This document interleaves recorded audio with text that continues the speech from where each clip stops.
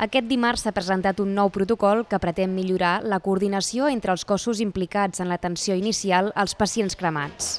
S'hi determina principalment com diagnosticar i tractar el cremat just al lloc de l'accident i el criteri que s'ha de seguir per derivar el pacient al lloc més adequat per ser atès. El SEM té les eines ara necessàries per decidir si un malalt cremat es pot atendre en el lloc de l'incident, si ha de ser traslladat a un hospital comarcal o de, o de proximitat o ha de ser traslladat directament a la unitat de cremats de la Vall d'Hebron. Lo importante no es que cuando llegue a nuestra unidad se trate bien, sino que este tratamiento ya se empiece a hacer bien desde el primer momento de la quemadura. En definitiva, si no hacemos un buen tratamiento inicial, cuando nos llega a nuestra unidad, el paciente puede estar suficientemente deteriorado para, como para complicarnos la, el inicio de su, de su tratamiento definitivo.